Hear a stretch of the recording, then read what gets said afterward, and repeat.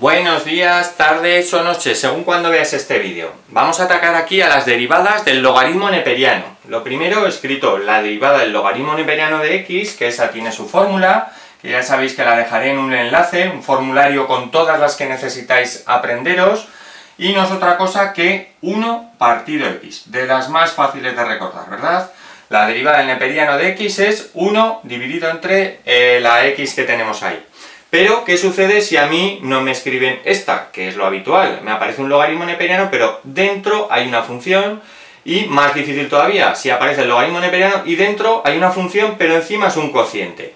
Pues tendré que utilizar lo que llamamos la regla de la cadena, y dice algo así. Si yo tengo que derivar una función que tiene dentro otra función, es decir, nos piden la derivada de todo esto, lo que tengo que hacer es la derivada de f, olvidaros de lo que hay dentro, y después la derivada de g.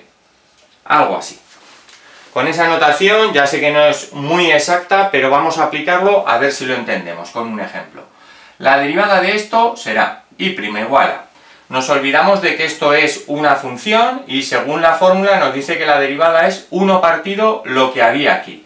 Pues la derivada de esta será lo mismo 1 partido todo lo que había aquí dentro. 3x cuadrado más 2x.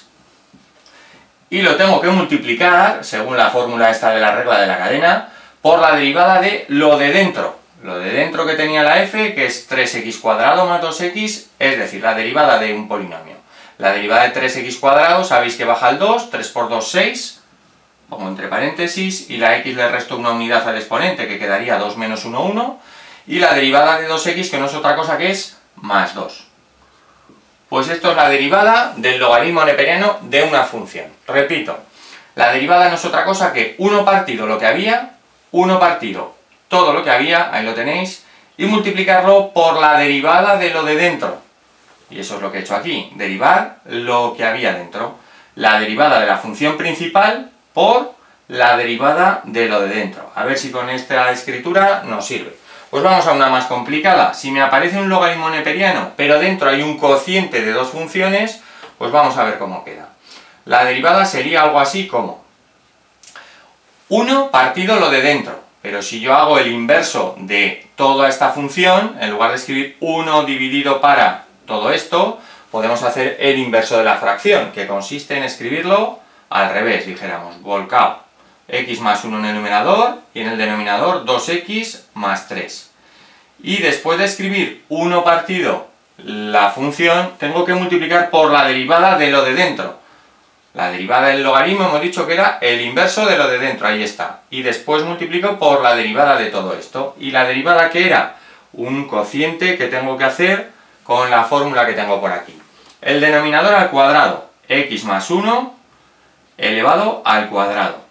Y en el numerador tengo que hacer derivada del primero, del numerador, que es 2 más 0, es decir 2, lo dejo así, si queréis sin paréntesis ni nada, por el denominador, x más 1.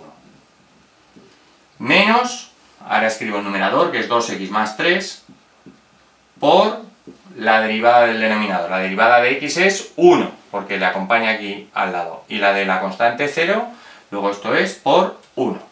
Repito cómo lo he hecho, porque a continuación lo que voy a hacer es operar simplemente.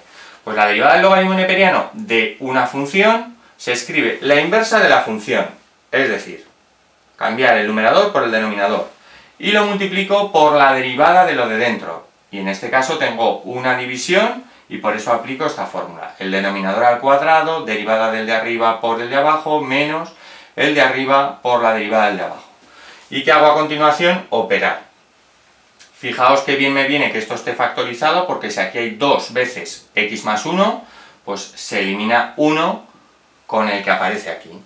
Y entonces me quedaría en el denominador estos dos factores, 2x más 3 por x más 1,